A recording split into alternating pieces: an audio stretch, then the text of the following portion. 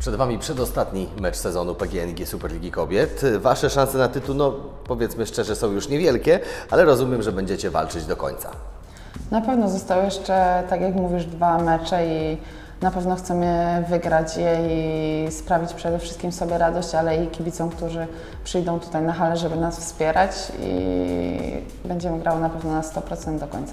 Ten feralny kwiecień już jest za Wami i po wygranej w Lubinie czujecie, że dołek formy już się zakończył? E, Myślę, że ten mecz w Lubinie był zupełnie inny, bo każdy gdzieś tam się inaczej motywuje. E, Dodatkowo, tak jak mówisz, kwiecień e, troszkę nam nie wyszedł, jakby, jak można tak powiedzieć. E, Więc mam nadzieję, że już jest maj, jest to wszystko za nami i teraz już będzie tylko lepiej i, i będziemy czerpały radochę z tej gry. Zaczynałyście sezon właściwie jako zupełnie nowy zespół. Sądzisz, że dojrzałyście jako drużyna, bo przeszłyście razem naprawdę sporo.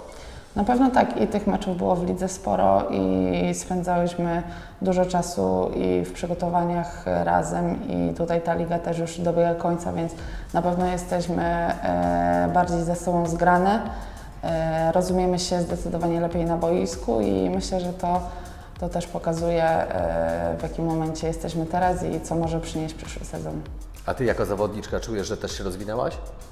Zdecydowanie tak. E, Dostawałam dużo więcej szans gry e, od trenerki Moniki w tym sezonie i starałam się zawsze wykorzystać e, na maksa to, co dostałam od nich, tą szansę i w mojej ocenie zrobiłam gdzieś tam jakiś kroczek do przodu. Wiadomo, że jeszcze sporo tej pracy, ale jestem zadowolona z, z tego sezonu. Przed Wami czwarty już w tym sezonie mecz z Piotrkowią. Powiedz, jaki to jest zespół? Jaki to jest rywal?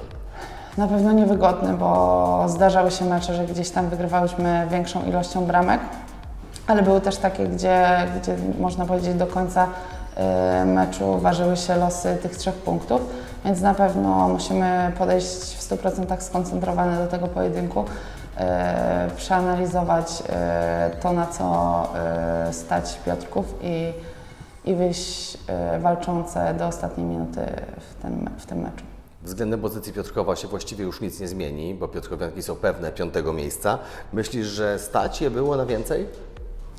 Myślę, że początek sezonu y, gdzieś tam zapowiadał, że mogą się liczyć w, te, w tej walce o brązowy medal z Kobierzycami i, i z Jarosławiem, ale gdzieś tam też przydarzyły im się y, słabsze momenty i, i tak jak mówisz, już nie mają, nie mają szans na wyższą lokatę.